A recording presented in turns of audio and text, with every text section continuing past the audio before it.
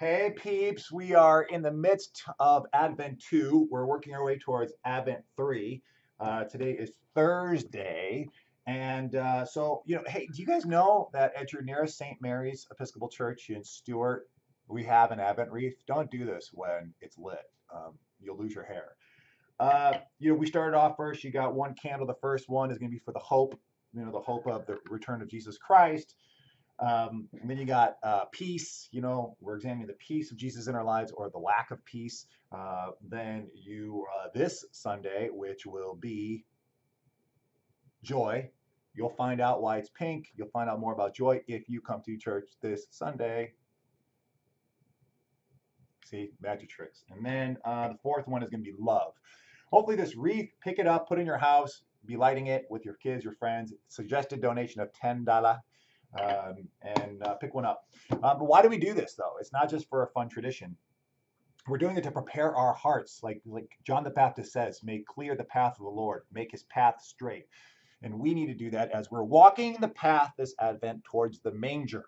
Because when we don't take this time of Advent to really prepare our hearts in a Lenten fashion, then, then we uh, will just go to a big birthday party for Jesus. And we want more than that. So um, we're using Advent. It, it's this thing the church gives us to really reflect and to shed all that is cluttered and gotten in the way of us to really receive the rebirth, to be reborn into Jesus Christ um, on Christmas Day. Um, and I think today's reading, if you follow uh, the daily readings, hopefully you do. If you don't, it's cool. You got more time uh, to follow the daily readings. The Book of Common Prayer in the back has year one, year two. We're in year one. You can look at the readings that we follow through our daily offices of morning prayer, noonday prayer, and evening prayer. For uh, new, a morning prayer, we had the gospel uh, from Luke 22. It's, it's a great little piece here. It's, it's we have Judas who is um, about to sell out. And then at the same time, Luke gives us Jesus preparing the Passover meal, getting ready for the Passover meal to redefine what the Passover meal means. Uh, and, and, so we had this, thrown into it is this idea of Judas, of Judas um, succumbing to his fear, succumbing to the fear of the Roman authorities, succumbing to the fear of the religious authorities, and giving up and saying, I don't think that Jesus is, is, is strong enough or capable enough. We're all going to get slaughtered and killed, and let me just give up. And if we don't take this time to examine our inner Judas, then we're going to miss a big piece of this journey too.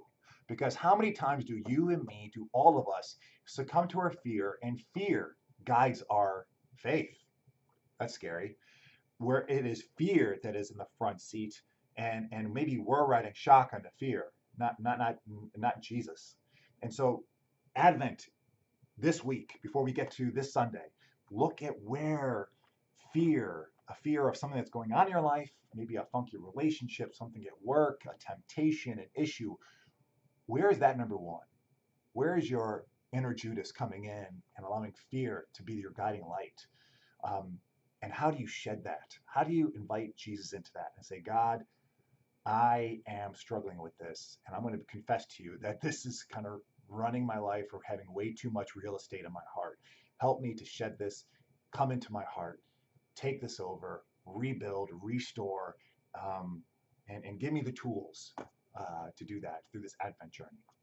God bless you. We'll be doing it with you. We're all in this together, and um, we'll see you this Sunday.